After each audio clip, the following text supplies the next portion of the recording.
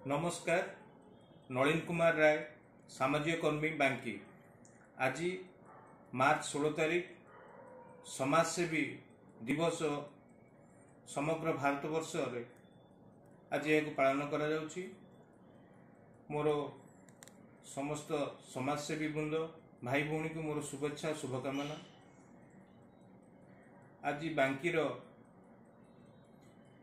ଯେଉଁଠି ଜଙ୍ଗଲପୂର୍ଣ୍ଣ ଯେଉଁଠି ଚାରି ଦୁଇପଟେ ଗଛର ସମାହାର ସେ ଜାଗାରେ ଅଗ୍ନିକାଣ୍ଡ।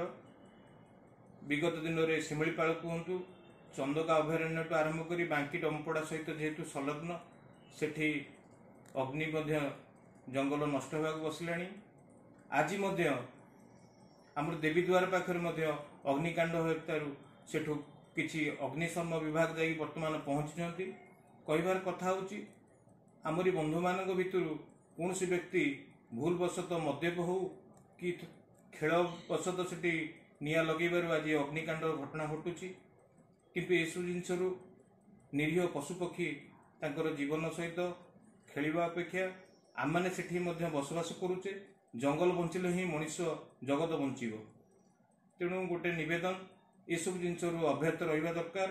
ପଶୁପକ୍ଷୀ ସୁରକ୍ଷିତ ସହିତ ଜଙ୍ଗଲ ସୁରକ୍ଷିତ କିପରି ରହିପାରିବ ସେଥିପାଇଁ ଆମମାନେ ଯତ୍ନବାନ ହେବା ଉଚିତ।